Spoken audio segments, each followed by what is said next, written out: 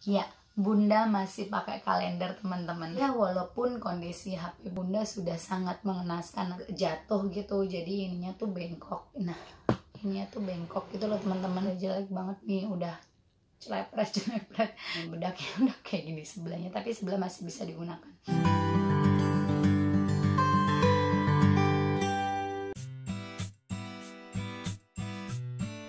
Yang kedelapan adalah parfum.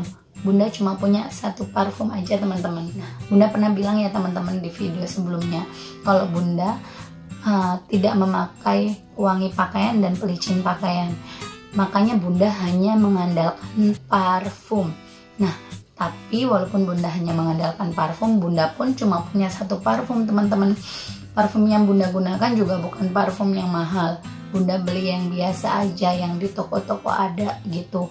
Yang penting ketika Bunda keluar selain Bunda bersih Bunda juga tidak tercium bau gitu. Jadinya Bunda tetap gunakan uh, parfum yang biasa-biasa aja. Dan Bunda cuma punya satu parfum. Bunda pernah punya coba gitu coba untuk punya banyak parfum. Tapi ternyata yang nggak kepake malah jadi mubazir.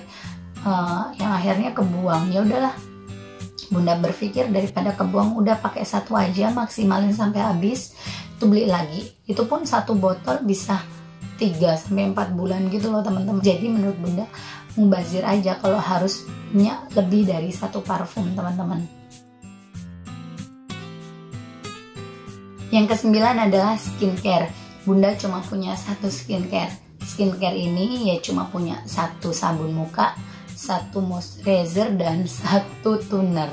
Kalau teman-teman cewek mungkin tahu ya ada 10 step skincare ala Korea gitu. Nah bunda nggak pakai itu, bunda hanya pakai yang tadi aja. Dan itu pun menurut bunda habisnya tuh 3 4 bulan gitu loh teman-teman. Jadi awet banget gitu. Yang ke-10 adalah earphone. Bunda cuma punya satu earphone teman-teman. Dan ini lihat teman-teman kondisinya. Ini udah nggak ada karetnya gitu loh teman-teman. Tapi ini masih bisa berfungsi teman-teman. Tapi kalau nggak salah ini tuh fungsinya tuh tinggal satu deh. Maksudnya tinggal lupa bunda antara yang kanan atau yang kiri bunda lupa. Yang jelas ini tinggal satu aja fungsinya. Tapi masih berfungsi dengan maksimal masih bisa digunakan. Dan bunda nggak akan ganti sebelum earphone ini benar-benar rusak gitu teman-teman. Benar-benar tidak bisa digunakan. Sebenarnya bunda ini pengen banget loh teman-teman beli yang nggak ada kabelnya gitu. Kan kalau ini kan pakai ada kabelnya ya. Menurut bunda agak ribet sih. Karena bunda itu kalau misalnya lagi masak nyuci baju nyuci piring nyapu ngepel dan uh, mengerjakan pekerjaan rumah itu tuh bunda sering banget dengerin uh, YouTube. Entah itu kajian entah itu uh, ya segala hal yang memang bunda rasa itu bermanfaat untuk bunda dengarkan itu bunda biasanya itu mendengarkan ketika bunda mengerjakan pekerjaan-pekerjaan rumah tadi gitu. Kayaknya alangkah enaknya gitu ya kalau misalnya bisa dengerin kajian-kajian kayak pakai earphone kayak gini tapi yang nggak ada kabelnya biar nggak ribet gitu loh teman-teman. Tapi ya nggak tahu sih apakah nanti ketika bunda ganti itu bunda beli yang ada kabelnya atau enggak ya doain aja ya teman-teman. Karena kan kalau yang nggak ada kabelnya harganya juga lumayan gitu. Jadinya ya doain aja ya teman-teman. Yang ke sebelas adalah phone case. Ya bunda cuma punya satu phone case teman-teman. Phone case nya lagi dipakai. Nanti bunda fotoin di sini. Uh, phone case ini udah berapa lama ya? Uh, udah lama banget lah gitu bunda pakai case ini tuh udah sampai udah jelek gitu loh teman-teman. Maksudnya udah agak ngelupas ngelupas gitu. Secara fungsi masih bisa dipakai dan bunda masih nyaman menggunakan ini. Jadi ya masih bunda pakai dan bunda nggak ganti-ganti. Case nya udah berapa tahun alhamdulillah masih bisa digunakan. Mungkin bunda akan beli ketika emang benar-benar udah rusak gitu. Jadi sampai saat ini pun bunda masih akan memanfaatkan satu case ini aja dulu gitu Kedua belas adalah brush. Ya, jadi bunda cuma punya satu brush teman-teman. Jadi ini kayak peniti gede gitu loh. Uh, ini digunakan buat uh, bunda ini biasanya gunain ini kalau ke acara-acara formal atau acara ke kondangan gitu. Emang bunda tuh pada dasarnya nggak begitu suka bros teman-teman. Bunda tuh lebih seneng cuma pakai jarum pentul gitu loh teman-teman. Bunda tuh kalau pakai bros itu kok kayaknya agak wah gitu loh. Meskipun bunda keluar-keluar tuh pakai jilbab segi empat gitu. Tapi bunda ya bunda nyamannya cuma pakai jarum pentul gitu aja. Yang ketiga belas adalah tas ya bunda cuma punya satu tas teman-teman. Kalau nggak salah ini tuh dapat hadiah dari teman-teman kantor pas bunda resign. Tas ini tuh enak banget. Tas ini tuh kecil tapi sangat bermanfaat banget. Bahannya juga dia kanvas terus kenapa bunda lebih suka tas gendong?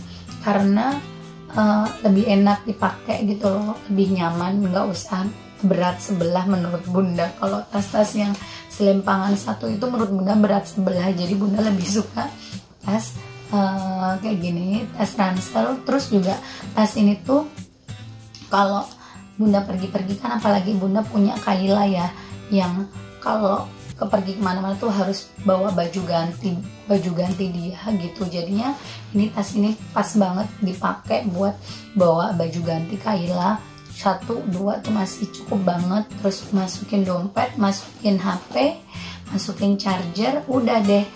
Bisa pergi pun uh, tumbler ini bisa masuk ke sini. Kalau misalnya bunda uh, ke mall gitu kadang bunda tumbler bunda masukin ke tas ini gitu. Bunda tadinya punya dua ya satu lagi tas lempangan gitu. Tapi udah bunda keluarin. Tapi bunda punya fotonya kalau nggak salah nanti bunda keluarin di sini itu bunda keluarin karena emang bener-bener udah rusak udah bukan sih bukan rusak. Karena kan kulit sintetis gitu ya jadi kulitnya tuh udah ngelopek gitu loh teman-teman. Jadi bunda cuma punya satu tas aja. Yang ke-14 adalah dompet bunda cuma punya satu dompet.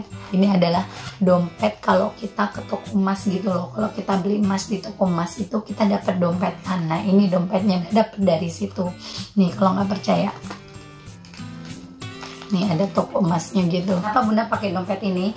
Karena dompet ini tuh menurut bunda tuh simple banget gitu loh teman-teman. Nih isinya ya. Bunda cuma bawa KTP terus member Alfamart terus kartu golongan darah terus ATM terus STNK ini harusnya di dompet ayah tapi ada di dompet bunda sama uang udah gitu aja. Bunda juga nggak pernah bawa banyak uang ketika pergi-pergi gitu. Jadinya ya uh, dompet segini sih menurut bunda sih udah pas banget gitu loh teman-teman. Terus ditambah kalau misalnya nih kita misalnya belanja atau apa terus kita dapat kembalian uang receh gini ya udah tinggal dimasukin terus ada sletingnya deh gitu jadinya lebih ringan lebih ringkas menurut bunda lebih enak bahannya juga nih dilipat-lipat juga gampang gitu jadinya bunda suka banget dompet ini ditambah warnanya hitam udahlah gitu. Ini bunda sayang banget sama dompet ini walaupun ini dompet gratisan dan dompet uh, dapat dari toko emas gitu. Ya yang terakhir yang ke-15 adalah laptop. Bunda cuma punya satu laptop nanti fotonya bunda taruh di sini. Dan itu pun dipakai untuk ayah dan bunda. Sebenarnya itu laptop bisa ya dipakai buat saya kerja. Cuma bunda pakai kalau bunda lagi upload video di YouTube itu bunda pakai di situ. Nyimpan video-video ke harddisk kan harus lewat laptop dulu gitu. Jadinya bunda pakai satu laptop itu. Jadi ketika dulu bunda kerja tuh bunda juga cuma punya satu laptop loh. Itu bunda barengan sama ayah. Nah jadi kalau misalnya ayah perlu ya udah ayah pakai. Terus kalau misalnya bunda yang perlu bunda yang pakai gitu. Jadi ganti-gantian gitu loh teman-teman. Jadi kita nggak pernah namanya punya dua laptop. Menurut bunda kalau punya dua laptop tuh mau bazir banget gitu loh. Nah, itu dia teman-teman pembahasan dari barang-barang bunda yang bunda punya hanya satu aja. Hidup minimalis itu tidak bisa disamakan ya teman-teman satu dengan yang lain. Tidak bisa dibandingkan satu dengan yang lain. Jadi bagaimana kita enjoy aja menjalani ini? Jadi sebenarnya fungsi dari uh, video ini adalah bagaimana kita bisa memaksimalkan fungsi suatu barang uh, yang bisa kita gunakan tuh sampai benar-benar habis fungsinya jadi walaupun kita cuma punya suatu barang tuh ya nggak masalah gitu loh toh selama kita tidak merasa kekurangan dengan fungsinya kita juga bisa memaksimalkan dengan semaksimal mungkin. Semoga video kami bermanfaat ya teman-teman. Sekali lagi Bunda mohon maaf ya teman-teman kalau suara Bunda masih kurang maksimal yang teman-teman dengarkan karena Bunda masih dalam proses recovery dari sakit gitu. Doakan ya teman-teman semoga video ini segera tayang sehingga bisa bermanfaat dan bisa menginspirasi kita semua. Dan Bunda akhiri video kali ini dengan wassalamualaikum warahmatullahi wabarakatuh. Bye teman-teman semua.